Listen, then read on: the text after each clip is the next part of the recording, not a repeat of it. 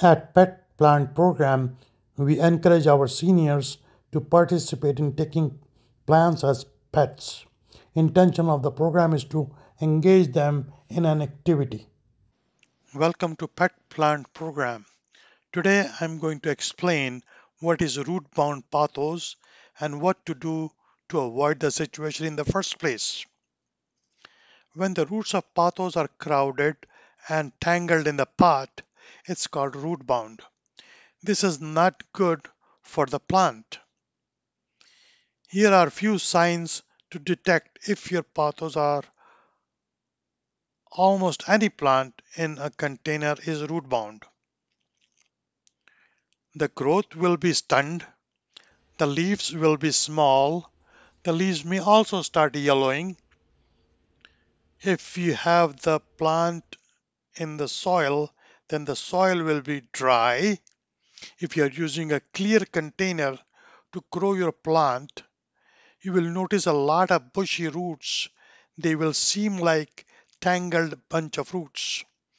If you are using see-through container with uh, semi-hydroponic system, then you can see the overgrowing roots. Follow these steps to prevent your pothos from, from becoming root bound in the first place. Water them regularly if your pothos are growing in soil.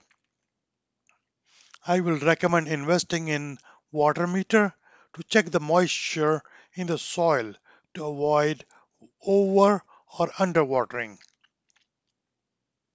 If you are growing your pothos in leca, then make sure that there is water in the container. I always have the water level to about third of the container.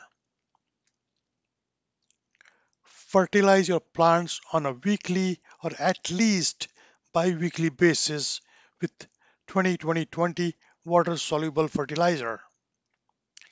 Lastly, do not forget lighting. This plant is very forgiving but providing 6 to 8 hours of light will make a huge difference in the growth of your plant. I hope this was a helpful video. Please do not forget to like the video, subscribe to the channel if you have not already done so, and press the bell icon to be notified when I upload new videos.